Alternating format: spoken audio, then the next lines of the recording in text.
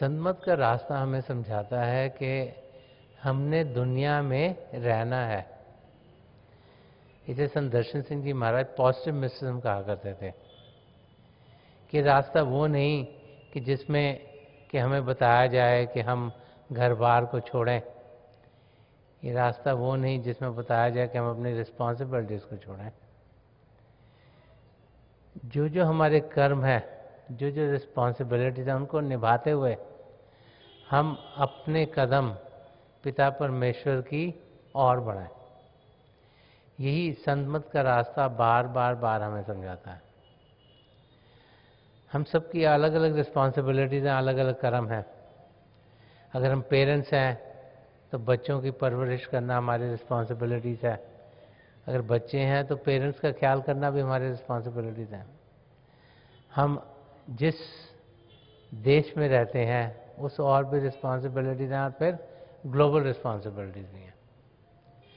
तो उनको निभाते हुए हमें अब पिता परमेश्वर की ओर बढ़ना है। तो लाइफ में, ज़िंदगी में चढ़ाव उतार तो आएँगे, कर्मों के लिहाज से कुछ समय ऐसे आएँगे जो कि हमें लगेगा कि सुखदायी हैं, कुछ समय ऐसे आएँगे जो लगेगा दुखदायी हैं, जो दुखों से भरे हुए हैं।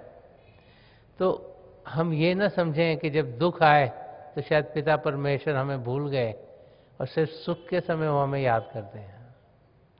हमें जानना है कि पिता परमेश्वर का हाथ हमारे साथ हर समय है। हम उनकी मदद से ये ज़िंदगी गुजार रहे हैं। तो अपने आप को संभालते हुए, अपनी रिस्पॉन्सिबिलिटी को निभाते हुए हम सब पिता परमेश्वर की ओर बढ़ सकते हैं। इसीलिए संत कृपाल सिंह जी महाराज फरमा गए हैं कि जो दिन का दसवां हिस्सा है, वो कम से कम हम अध्यात्म के रास्ते की ओर दें। जो कि ढाई घंटे के करीब बनता है, वो कम से कम हम अभ्यास की ओर दें। जितना ज़्यादा देंगे, उतना अच्छा है, लेकिन अपनी रिस्पॉन्सिबिलिटी को निभाते अगर आप काम पे जाते हैं, आठ दस घंटे आपके वहाँ लगते हैं, रात को सोते हैं छः आठ घंटे वहाँ पर आपके लगते हैं। और बाकी जो समय रह गया, उसमें से हम ढाई घंटे कम से कम निकालें ताकि हम अपनी मंजिल की और बढ़ें। हम सब अगर देखेंगे तो वो समय चाहे शुरू में लगता हो बहुत ज़्यादा है। लेकिन अगर अपनी प्रायोरिटीज़ को ठीक करेंगे तो समय हम आसानी से निकाल पाते हैं। तो अपनी फैमिली में रहते हुए, अपनी रिस्पॉन्सिबिलिटीज़ को निभाते हुए आप अपनी मंजिल की ओर बढ़ सकते हैं। Stress and stem part of life है। वो जितना इंसान स्ट्रेस लेता है, उसका और उतना बढ़ता चल जाता है। वो एटीट्यूड है लाइफ में, कि हमने किसी चीज़ को देखना कैसे है। अगर कोई मुश्किल आ गई तो एक तो तरीका है कि इंसान सोचे हो ये मुश्किल मेरे को क्यों आ गई?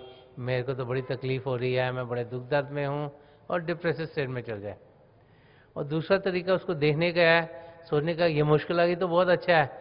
हमारे कर्म और कट रहे हैं और हमारे कर्म का बोझ कम हो रहा है और हम उस स्टेट पर पहुँच रहे हैं जहाँ के हमारे सारे कर्म कट जाएँगे। तो ये दो तरीके हैं उसी चीज़ को देखने के। तो संतमत का रास्ता में समझाते हैं कि दूसरे तरीके से ज़िंदगी देखनी चाहिए। Ups and downs on life तो पार्ट ऑफ़ लाइफ है। क्योंकि जो हमारे सोच विचार हैं, उन पर ही हम सोचते हैं कि हमारे सुख दुख निर्भर है।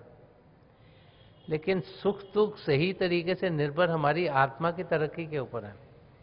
जितनी नज़दीकी पिता परमेश्वर की पाते हैं, उतने हम सुखी रहते हैं। जितनी उनसे दूरी होती है, उतने ही दुख हमें घेरे रखते हैं। तो हमें अपनी ज़िंदगी को उस नज़रिए से देखना है। जब उस नज़रिए से देखेंगे तो हम देखेंगे सारी चीज़ें सुखदाई हैं। अगर तकलीफ़ भी आई तो उसमें भी कुछ फ़ायदा है कि कर्म कट रहे हैं, हम उस अवस्था पर पहुँच रहे हैं, जिसमें कि हमारे सारे कर्म कट जाएँगे और आत्मा का मिलाप परमात्मा से होगा। तो हम अपनी ज़िंदगी जीते हुए, मुश्किलों का सामना करते हुए, जो स्ट्रेस चेंज और लाइफ है,